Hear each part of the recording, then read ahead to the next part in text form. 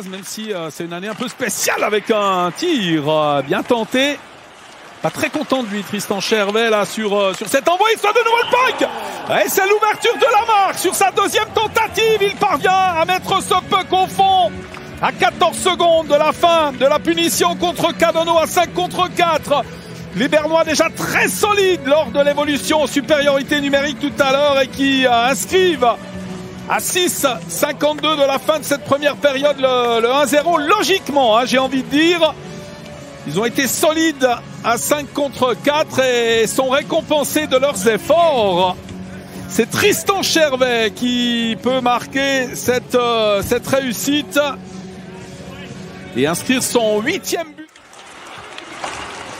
On a laissé pas mal d'énergie hein, sur la glace depuis quelques minutes. Attention à ce face à face avec euh, le but Superbe réussite, signé Baronfner qui remporte son face-à-face en solo. Il prend à défaut le portier Vutriche du revers de la canne pour permettre à son équipe de revenir à un partout, un peu contre le cours du jeu tout de même. Hein. Sur ce qu'on a vu euh, jusqu'ici, ce puck euh, mis en avant, Baronfner qui a parfaitement joué le coup, qui vient affronter le, le portier du revers donc qui met ce puck sous la transversale et remet les deux équipes à égalité. Est-ce que ça va sonner le, réveil des Zougois dans...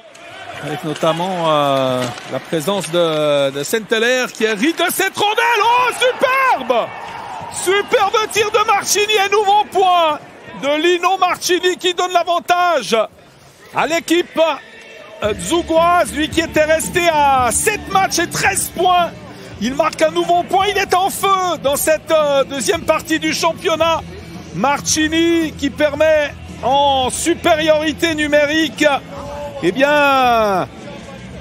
à Zouk de, prendre l'avantage dans ce match. Des, du montant